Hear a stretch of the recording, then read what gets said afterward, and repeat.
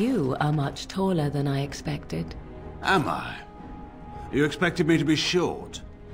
Well, you are also younger than I imagined.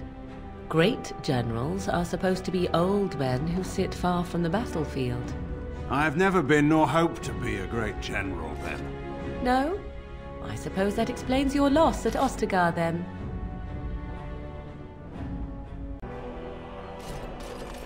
I see you staring owlishly at me, young lady.